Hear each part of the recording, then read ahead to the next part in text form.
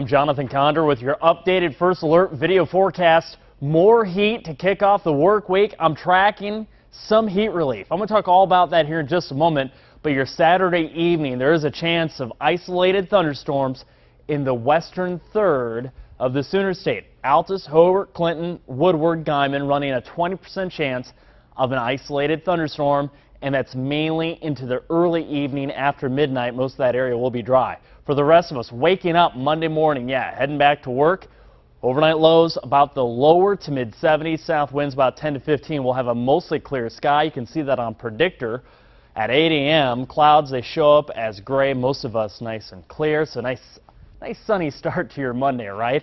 Throughout the day, sunny and not much of a chance of rain. If we're going to see storms, they're going to be out in the panhandles and they're going to be isolated. There's just a low chance a few of them could drift into far northwestern Oklahoma.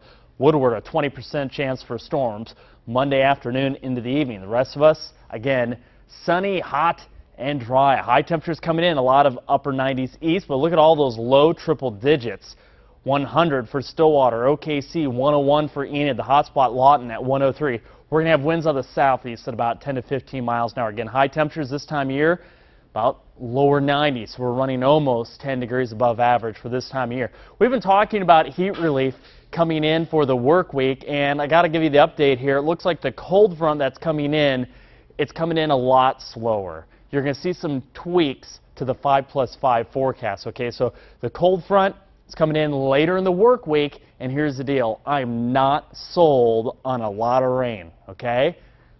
You're going to see some tweaks also lower rain chances coming in. Now, there are some rain chances showing up later in the work week, but again, not locked in for rain. So, looks like uh, you may have to be watering your lawn on your own here just a little bit.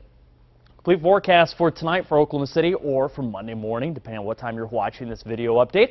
72 for Monday morning. Winds again out of the south during the overnight, about 10 to 15 by 8 a.m. South 7 to 12, 77 degrees, and then by lunchtime, southeast winds 10 to 15. Still sunny, a little warm there, 95. And when you're ending your day and you're heading home or maybe picking up the kiddos uh, from daycare there, 100 degrees, so kind of hot.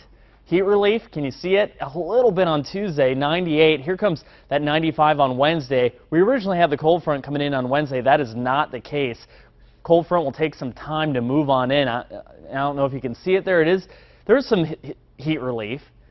90 on uh, Thursday, that's going to feel pretty good considering what we've had now the last couple of days. Only a low chance of storms on Thursday, only a low chance on Friday, but extra cloud cover, so a high of 88.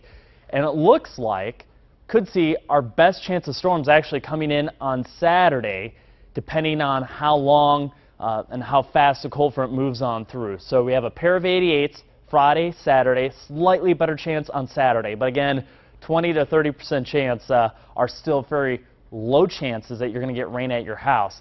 Sunday, this is Labor Day weekend, 93, 97 now on Labor Day. Another weak cold front possible uh, the Tuesday after Labor Day with a high of 93 and a 20 percent chance of storms. So heat relief, it's coming. It's just a little bit slower, and it's bringing us maybe some slightly lower rain chances late in the week. You're up to date with the latest First Alert forecast.